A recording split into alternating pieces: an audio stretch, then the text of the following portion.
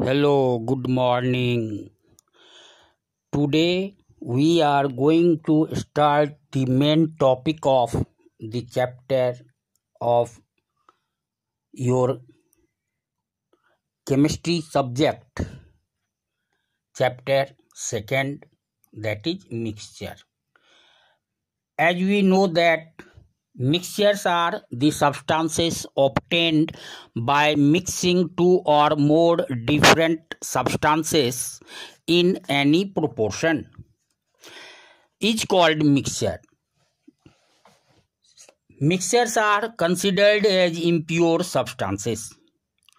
All type of solutions are mixtures. For example, air, soil, water, sea water, muddy water, starch solution, soap solution, ink, sea water, milk, lime water, paint, glass, coal, etc. Mixtures are considered as impure substances. The constituents of mixtures retain their property in mixture. For example, is a mixture and the components of the air that is nitrogen oxygen and carbon dioxide oxide all these retain their properties on their own. The melting po boiling points of mixtures are not fixed. They can be separated by simple physical processes Due to these criterion, mixtures are considered as impure substances. Mixtures are of two types. First, homogeneous mixtures and second, heterogeneous mixtures. The mixtures in which substances are completely mixed together and are indistinguishable from one another are called homogeneous mixtures.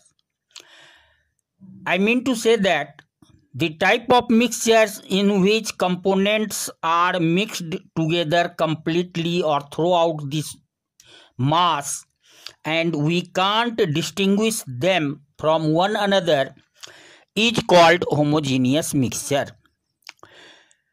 It means a homogeneous mixture has uniform form composition throughout the mass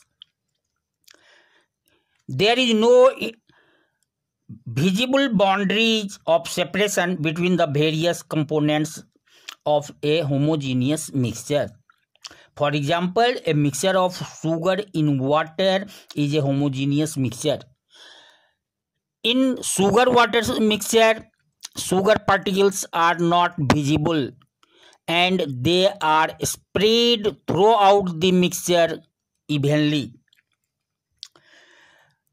All the homogeneous mixtures are called solutions.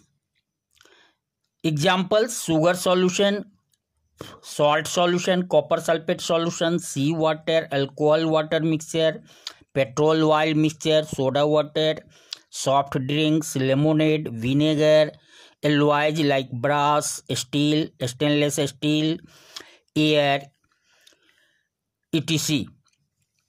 Now, heterogeneous mixtures. The mixtures in which substances remain separate and one substance is spread throughout the other substance as small particles, droplets, or bubbles are called heterogeneous mixtures. It means components of heterogeneous mixtures are visible.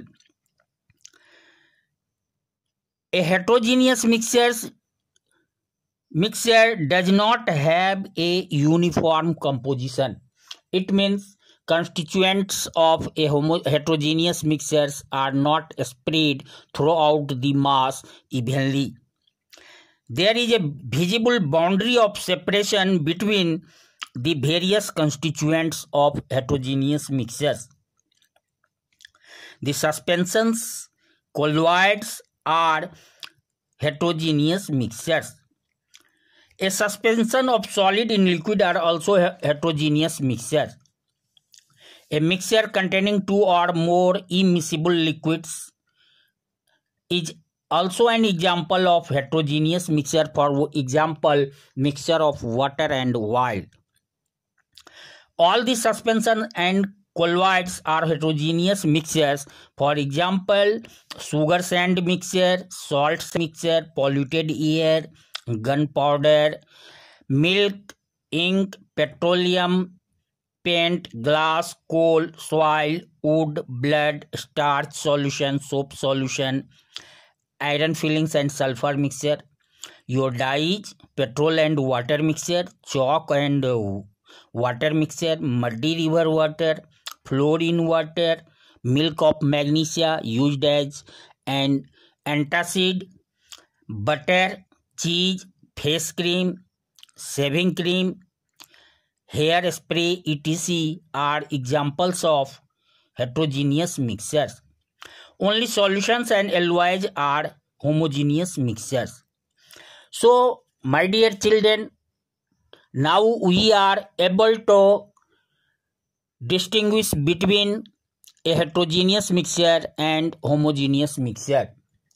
And we must have to remember that a heterogeneous mixture has uneven composition it means components are even not spread evenly throughout the mixture but in the case of homogeneous mixture constituents are evenly spread throughout the mass.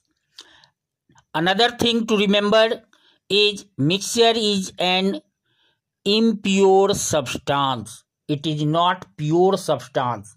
Your pure air is also a mixture in which components are in fixed proportion and we know that in compounds components are in fixed proportion.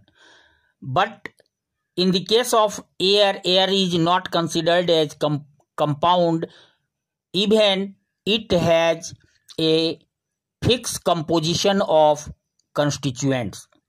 This is due to the reason that in compounds, constituents do not retain their property, but in the case of air, components that is nitrogen, oxygen, carbon dioxide all retain their properties, which is different from the properties of compounds. So, my dear students, in next video we start homogeneous mixture okay Thanks.